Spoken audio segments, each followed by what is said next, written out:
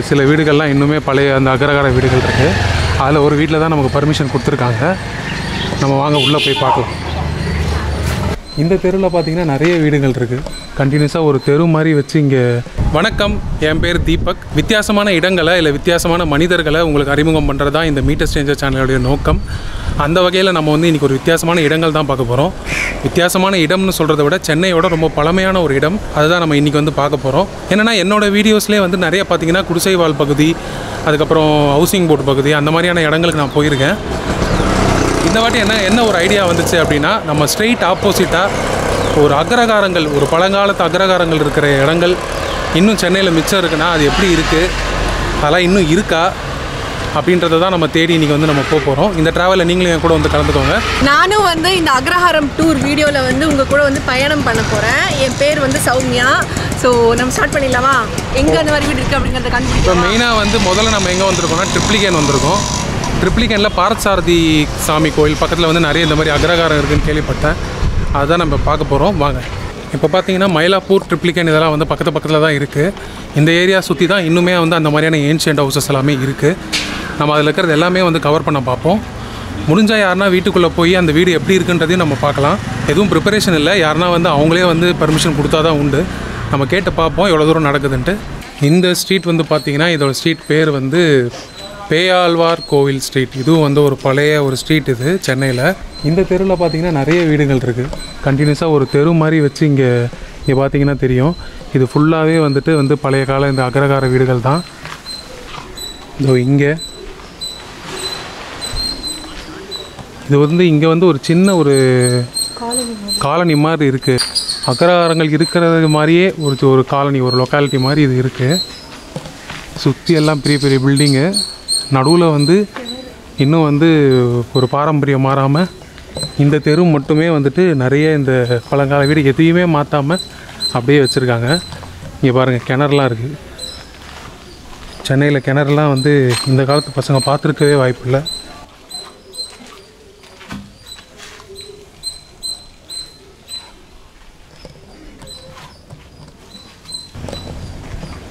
இங்கே பார்த்தீங்கன்னா தெரியும். எல்லாமே பழைய காலத்து வீடு.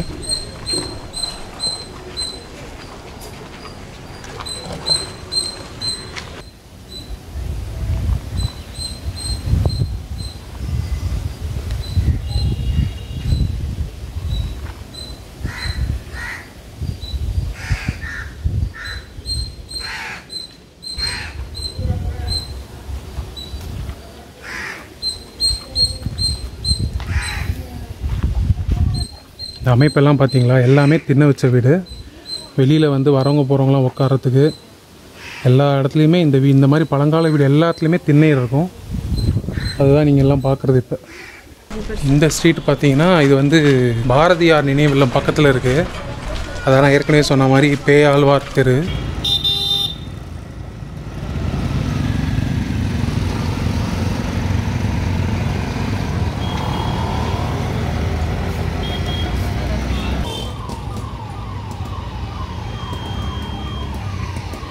இப்போ வந்து நான் வந்து மயிலாப்பூர் வந்தாச்சு. இங்கே அந்த மாதிரியான வீடுகள் என்னென்ன இருக்குது அந்த மாதிரியான தெருக்கள் என்னென்ன இருக்குன்றதை நம்ம பார்க்கலாம். அக்ரகாரம் மாதிரியான தெருக்கள் மயிலாப்பூர்லேயும் நிறைய இருக்குது நம்ம கேள்விப்பட்டிருக்கோம். அக்ரகாரம் அப்படின்னா ஒரு மெயின் ஒரு அர்த்தம் என்ன அப்படின்னா அந்த ஸ்ட்ரீட்டோட எண்டில் ரெண்டு பக்கமும் ஒரு சிவன் கோயில் இருக்கணும் ஒரு பெருமாள் கோயில் இருக்கணும். அதுதான் ஆக்சுவலாக வந்து கான்செப்ட்டு அந்த மாதிரி இருக்க தெருவில் நாலா பக்கமும் வந்து சுற்றி கட்டப்படுற ஒரு அமைப்பு தான் வந்து இது அக்ரஹாரம் சரி இப்போ இங்கே மயிலாப்பூரில் என்னென்ன இருக்குன்றதை நம்ம பார்க்கலாம்.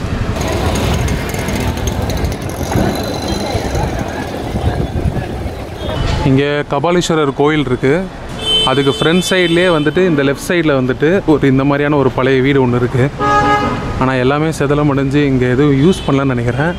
ஒரு பார்ட் வந்து ஒரு கடை வச்சுருக்காங்க. இன்னொரு பார்ட் வந்து ஆல்மோஸ்ட் இடிக்க போகிறாங்கன்னு நினைக்கிறேன். அது உள்ளேயே வந்து செங்கல்லாம் அடுக்கி வச்சுருக்காங்க. ஊட்டி இருக்குது பாருங்கள் கதவு தெரியுதா? பர்மா தேக்கு கதவு அதெல்லாம்.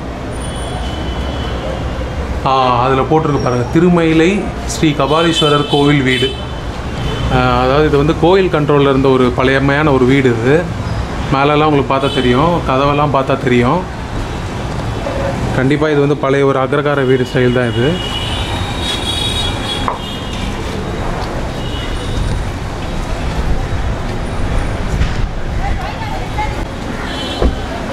பாருங்க. பழைய ஒரு வீடு தான் இது. நான் இப்போ வெளியில் வந்து இந்த ஆலோ பிளாக்லாம் வச்சு ஏதோ பண்ணி வச்சுருக்காங்க. இந்த தூண்லாம் பாருங்கள் எப்படி இருக்குன்னு.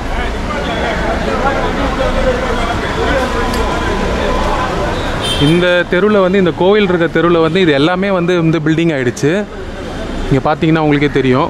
கோவிலுக்கு பக்கத்தில் இருக்கிற ஒரே ஒரு கோவிலுக்கு சொந்தமான வீடுன்னு நினைக்கிறேன். அது வந்து இது மட்டும்தான். அதுவும் வந்து மாற்ற போகிறாங்க மாதிரி தான் தெரியுது. இங்கே யாரும் வாழ்கிற மாதிரிலாம் தெரியல. எல்லாம் பாசி பிடிச்சி இடித்து ஒரு மாதிரி தான் இருக்குது இதுவும். உங்கள் பேர் என்ன? வித்யாசாகர். வித்யாசாகரா? இந்த ஏரியாவில் பழைய அக்ரகாரங்கள்லாம் இருந்ததுல்ல அதெல்லாம் இன்னும் இருக்கா? இல்லை இந்த ஒரு அக்ரகாரம் தான் பெரிய அக்ரகாரம். எது? இது.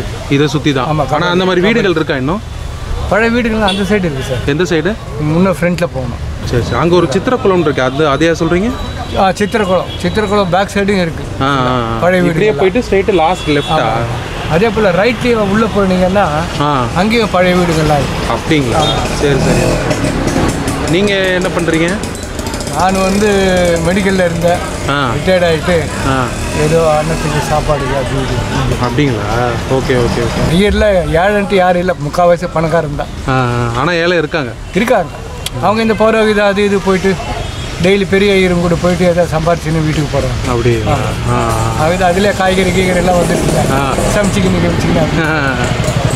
சரி சரி. நீங்கள் ஐயர் பசங்க தான் நல்லா பெரிய ஸ்டேட்ஸ் லெவலில் அவங்க பிள்ளைங்க எல்லாம் படிக்கிறாங்க இருக்கிறாங்க. நல்லா சம்பாதிக்கிறாங்க. அம்மா அப்பா வந்து இங்கே அப்படி அப்படி ஏன்னா பழைய காலத்து ஆளுங்க இல்லை. ஆமாம் ஏரியா விட்டு போக முடியும் போனால் கூட ஒரு ஒரு மாதம் ரெண்டு மாதம் ஓ இருந்துட்டு பசங்கெல்லாம் வெளியே வெளியூர் வெளிநாடு போய் செட்டில் ஆயிட்டாங்க. ஆனால் அப்பா அம்மா இங்கேயே தான் நல்லா சரி சரி. நல்லா இருக்கும் சரி. நோய் நொடி இல்லாமல் இருக்கும். மனது முக்கியம் இல்லை. சரி. நோய் நொடி இல்லாமல் இருக்கும். சரிங்க நன்றிங்க நன்றிங்க நன்றி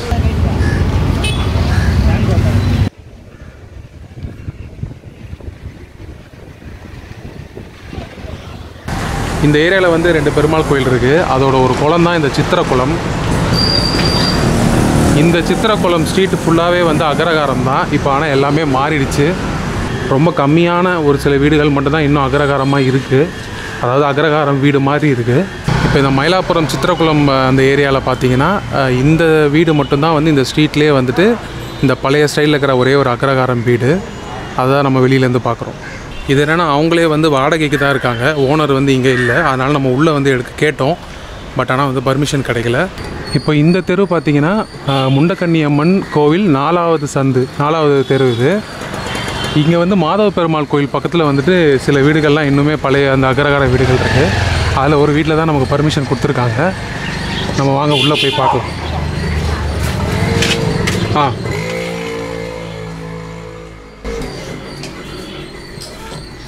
கடைசியாக ஒருத்தர் பர்மிஷன் கொடுத்துட்டாங்களா? இது முன்னாடி. எப்போவுமே இந்த மாதிரி வீடு வந்து மூணு அடுக்கு இருக்குன்னு சொல்லுவாங்க. வணக்கம். உங்கள் பேர் என்ன இந்திராணி. இந்திராணி. எத்தனை வருஷம் வாங்கியிருக்கீங்க? ஒரு முப்பது வருஷமா இருக்கும் அப்படிங்களா? இது தொண்ணூத்தி ஒண்ணுலேருந்தே இருக்கும். முப்பது வருஷம் இருக்கும்னு நினைக்கிறேன். இந்த வீடு அதை விட பழசுங்களா? இது நூறு வருஷத்துக்கு மேல. நூறு வருஷத்துக்கு மேலே. இந்த பழைய அக்ரகார ஸ்டைல் வீடுல இது? ஆமா. சரி சரி. இது வாங்கி இங்க இருக்கீங்களா? கோயிலுக்கு கொடுக்க மாட்டாங்க. ஓ இது கோவில் வீடு இருக்கிறோம் அதான். ஓ கோவிலோட ப்ராப்பர்ட்டி கோயில் இல்லை ஆமா. ஃபுல்லா அது பின்னாடி அங்க எழுதி வச்சிருக்கு பாருங்க. நீங்க வந்து வாடகை வந்து கோயிலுக்கு கொடுத்துருவீங்களா? ஆமா. அந்த மாதிரிங்களா? இது மாதவ பெருமான் கோயிலோட தான் ஆமா. ஓ அந்த கோயிலோட ஒரு கோயில் வீடு எல்லாம் இருக்கும் அங்க ஒரு போர்டு போட்டுருக்கோம் இது வந்து முதல் சுற்றுன்னு சொல்லுவாங்க. இந்த என்ட்ரன்ஸ் மாதிரி இருக்குல்ல இது? இது அந்த மாதிரி தானே? அது பார்க்கலாம் நீங்க ஆ பாருங்க. நீங்க போங்கம்மா நீங்க போங்க. நீங்க தான் எங்களுக்கு சொல்லணும் எது என்ன? அடுத்தது வந்து மெயின் ஒரு ஹாலு அதுதான் நடு சுற்றுன்னு சொல்லுவாங்க. சும்மா ஏதோ ஒரு வீடுன்னு இருக்குது அதான். ஆ. இங்கே பார்த்தீங்கன்னா இந்த நடு சுற்றில் மெயின் ஹாலு ஆனால் இங்கே வந்து சன்லைட் வரும். அதனால தான் இப்படி இருக்குது ஆனால் இவங்க வந்து ஓடு போட்டிருக்காங்க. ஒரு மூணு மூணு பட் பழைய காலத்தில் பார்த்தீங்கன்னா சன்லைட் வரும். ரெண்டு லட்சம் மூணு லட்சம் செலவாகும். ஒவ்வொரு தடவை ரிப்பேர் பண்ணும்போது. ஸோ நிறைய ரிப்பேர் இருக்குது ம். மழை காலத்துல வந்து வச்சுக்காது நிற்க முடியாது. ம் ம். தண்ணி அது பாட்டு போயிட்டே இருக்கும். ம். இது ஒரு இது அங்கே ஒரு சைடில் ஒரு ரூமா இது முதல்ல கிச்சனா இருந்தது. ஆ ஆ ஆ. நாங்க மாத்திட்டு ஒழுகுதுன்னு சொல்லிட்டு ஓ அப்படிங்களா? ஒழுகும் எல்லாத்தையும் ஓ. இந்த கதவெல்லாம் தேக்கல? தெரியல என்னதுன்னு தெரியல. ஆமாம் தேக்கா தான் இருக்கும். அந்த காலத்துல தேக்கு தேக்கில் தான் பண்ணுவாங்க. ஆமாம் கண்டிப்பாக தேக்கு தான் பார்த்தாலே தெரியுதுங்களே. ம். ஆமாம் அந்த காலத்துல தேக்கு ம். பர்மாலேருந்து வந்து தேக்கு வச்சு போடுவாங்க. அந்த வீடு எல்லாம் அந்த காலத்து வீடு எல்லாமே அப்படிதான். அதுக்கப்புறமா பின்னாடி இந்த கிச்சனும் இந்த கொல்லப்புறமும் இருக்கும். அப்படிதான் மோஸ்ட்லி இந்த கன்ஸ்ட்ரக்ஷன்லாம் இருக்கும். தோட்டமா இருந்தது இது. ஆ ஆ ஆ ஆ. நாங்க வந்து இப்போ இடம் போதல சொல்லிட்டு பின்னாடி பாத்ரூம்லாம் போட்டு வச்சிருக்கோம் அப்படிங்களா? ஸோ இந்த கடைசி இந்த மூணு சுற்றுல கடைசி இந்த கட்டம் தான் இந்த கொல்லப்புறமும் இது. இது தோட்டம். அது கொல்லப்புறம்னுவாங்களே அந்த மாதிரி. அந்த மாதிரி. அந்த மாதிரி.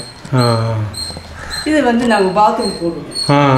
முன்னாடி இங்கெல்லாம் மாடுலாம் கட்டி வச்சுருப்பாங்கல்ல அந்த மாதிரி இதுவாக இருந்திருக்கும். அதுல இல்லை நாங்க வரும்போது. நீங்கள் வரும்போது இல்லை அப்போ முன்னாடி இருந்திருக்கும். ஆ இருந்திருக்கும் என்னவோ தெரியல. இது ஒரு மாமரம் இருக்குங்க.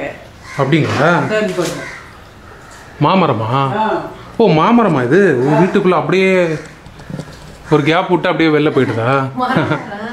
செமையாக இருக்கு. ஓ ஓகே ஓகே ஓகே நடுவில் வச்சே கட்டிட்டு இருக்கீங்க. நல்லது. இதுதான் இந்த பழைய ஸ்டைல் வீடு. கொஞ்சம் புதுப்பிச்சிருக்காங்க. இங்கே ஒரு ரூமுங்களாம்மா இது என்ன ரூம் ஓ பூஜை ரூங்களா ஆ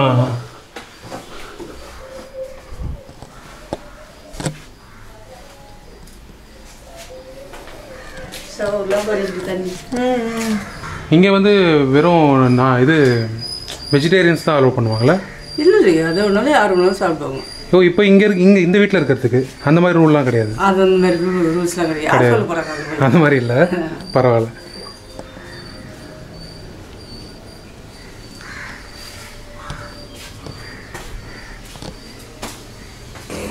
வேற வீடு பார்த்துக்கணும் நாங்கள் உங்கள் சொந்த ஊர் எதுமா? சென்னை தானா? காஞ்சிபுரம். காஞ்சிபுரமா? ஓ சரி சரி சரி. இதெல்லாம் தேக்கு கதை தான் அது. ஆமாம் எல்லாமே தேக்கு கதவு இந்த கட்டை கொடுத்துருக்காங்க பாருங்க. பழைய அதெல்லாம் உடைக்கவே முடியலமா அவ்வளோ இதுவாக இருக்குது. ஜன்னல் கதவுலாம் கூட கட்டலாம். இந்த தெருவில் நிறைய இந்த மாதிரி வீடு இருக்காமா? இல்லை இந்த லைனில் தான் இருக்குது இந்த லைனில் மட்டும் அது உள்ள பண்ணின்னு இருக்கும் அது ஓ அப்படிங்களா? ஆ. சரி அப்புறம் சிலதெல்லாம் மாடி வீடு இருக்கு. அதான். அப்படிங்களா? ஆமாம் அதெல்லாம் மாறிடுச்சு. உங்கள் பேர் என்ன சொன்னீங்க? இந்திராணிங்களா இந்திராணி சரி ரொம்ப நன்றி. உள்ள உள்ள வந்து முதல்ல அலோவ் பண்ணதுக்கு ரொம்ப நன்றி. இதில் போய் என்ன அங்க இருக்குது நீங்க மயிலாப்பூர் அந்த சைடு அந்த கோவில் பக்கம் இருக்குல்ல அங்கெல்லாம் நிறைய வீடு இருந்தது. கேட்டோம் ஆனா உள்ள விடல. இல்ல. சரி அது அவங்கவுங்க இஷ்டம் சரி. ரொம்ப நேரமா நடந்துட்டு இருந்தோம். அந்த சித்திரக்குளம் அந்த சைடுல சித்திரக்குளத்துல இதே வீடு அங்க அந்த லைன்ல இருக்கு பாருங்க ஆ. ஓட்டு. நான் அப்படியே பார்த்துட்டு போறேன். தேங்க்ஸ்மா ரொம்ப தேங்க்ஸ் நன்றிமா இந்த முண்டகனியம்மன் கோயில் ஸ்ட்ரீட்லேயே வந்துட்டு நிறைய பல வகையான வீடு இருக்கு. நம்ம பார்த்தோம் அந்த வீடு. அது இல்லாமல் அதோட இன்னொரு போர்ஷன் இது. அந்த வீட்டுக்குள்ள பார்த்த மாமரம் பாரு ஏய் ஆமாம் ஆமாம் அதுதான் அதுதான். பா எவ்வளோ பெருசு? அதான் அந்த ட்ரங்க் பார்த்தாலே தெரியலையா அவ்வளோ பெருசு.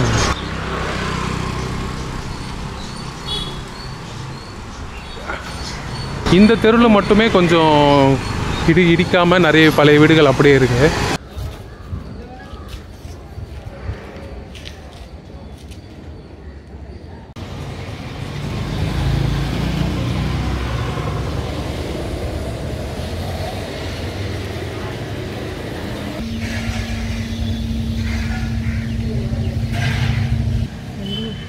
இங்கேயும் ஒருத்தர் வீட்டில் வந்து பர்மிஷன் கொடுத்துருக்காங்க எடுக்கிறதுக்கு. உள்ளே போய் பார்க்கலாம்.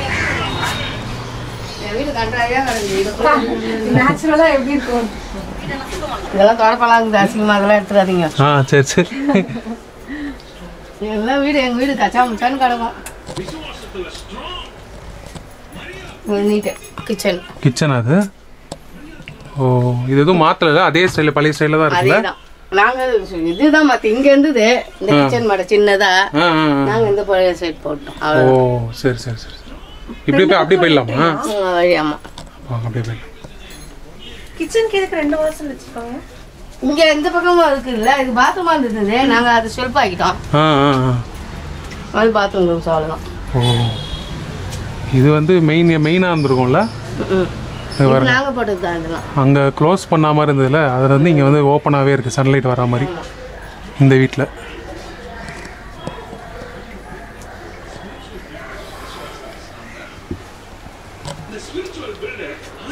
சரிம்மா நன்றி. நன்றி. தமிழ் பார்ப்பனர்கள் இருக்காங்க இல்லையா? அவங்களுக்கு ஒரு சிறந்த உதாரணம் யாருன்னா நம்ம எல்லாருக்குமே தெரிஞ்ச மகாகவி பாரதியார். சுப்பிரமணிய பாரதி அப்படின்றவர் வந்து தமிழ் பார்ப்பனக்குடியில் பிறந்த ஒரு பெரும் கவிஞர். நவீன தமிழ் இலக்கியத்தோட ஒரு ஒரு பெரிய வந்து முன்னோடி அவர் தான் அப்படின்னே சொல்லலாம். இவர் சுதந்திரத்துக்காக போராடினதும் தமிழுக்கு செய்த தொண்டும் வந்து உங்கள் எல்லாருக்குமே தெரிஞ்சிருக்கும் ஆல்ரெடி ஆனாலும் அவர் வந்து பிராமண ப்ராக்டிஸ்களுக்கு எதிராக இருந்தவர். அதாவது என்ன ப்ராக்டிஸ்னால் ஸ்பிரிச்சுவல் ப்ராக்டிஸ்லாம் அவர் எதிர்க்கல. தீண்டாமை அந்த மாதிரியான விஷயங்களை வந்து அவர் வந்து கடுமையாக எதிர்த்தார். இப்போ என்ன வித்தியாசம்? இந்த பூநூல் தானே வித்தியாசம் அப்படின்னு சொல்லிட்டு நிறைய வந்து தாழ்த்தப்பட்ட இனத்தை சேர்ந்த நான் இப்போ பட்டியலின மக்களாக சொல்லப்படுறவங்களுக்கு அவர் வந்து பூணூல் அணியும் விழானே ஒன்று ஆரம்பித்து அந்த காலத்துலேயே வந்து பெரிய புரட்சிலாம் செஞ்சவர். இப்படி ஒரு விஷயத்தை செஞ்சவரும் ஒரு தமிழ் பார்ப்பனர் தான். அதே மாதிரி இன்னொரு எக்ஸாம்பிள் யாருன்னா தமிழ் இலக்கியங்கள் சங்க இலக்கியமாக இருக்கட்டும் பல நிறைய இலக்கியங்கள் பக்தி இலக்கியங்கள்லாம் வந்துட்டு ஓலச்சுவடியில் இருந்தது. இதெல்லாம் பிரித்து பிரித்து அங்கங்கே இருந்தது. இதெல்லாம் வந்து ஊர் ஊராக போய் கலெக்ட் பண்ணி சேர்த்த ஒருத்தர் இருக்கார். அவர் தான் வந்துட்டு ஊவே சுவாமிநாத ஐயர். தமிழ் தாத்தா அப்படின்னு வந்து அவர் வந்து நம்ம கூப்பிடுறோம். எவ்வளோ பெரிய ஒரு ஒர்க் இது. எல்லா ஊருக்கும் போய் தமிழ் ஓ- அந்த ஓலைச்சுவடிகளை அங்கேருந்து அதில் இருக்க இலக்கியத்தை மீட்டு நமக்கு கொடுத்தவர். எவ்வளோ ஒரு பெரிய தமிழுக்காக ஒரு தொண்டாற்றிய ஒருத்தர் வந்து ஒரு தமிழ் பார்ப்பனர் தான். இந்த மாதிரியான எக்ஸாம்பிள்ஸ் நிறைய பேர் இருக்காங்க. வேற்று மொழி சேர்ந்தவங்க நிறைய பேர் வந்து பிராமணர்கள்லாம் இருந்தாலும் இந்த மாதிரியான விஷயங்கள் செய்கிற தமிழ் ரொம்ப பிடிக்கிற தமிழை ரொம்ப நேசிக்கிற நிறைய பார்ப்பனர்கள் இருக்க தான் இருக்கிறாங்க. இதுக்கு உதாரணமாக தான் இந்த ரெண்டு பேரையும் நான் உங்களுக்கு சொன்னேன்.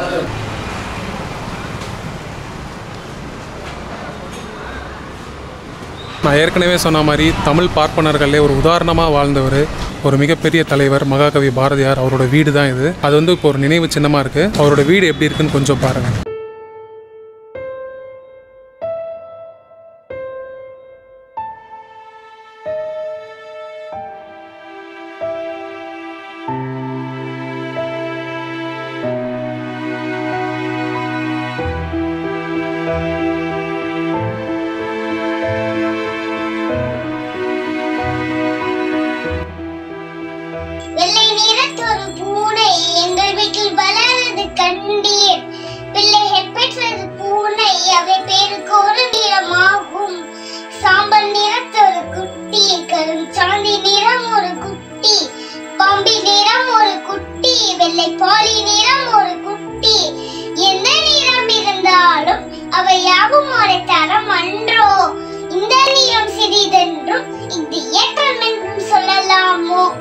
வண்ணங்கள் வேற்றுமைப்பட்டால் அதில் வானுடர் வேற்றுமை இல்லை.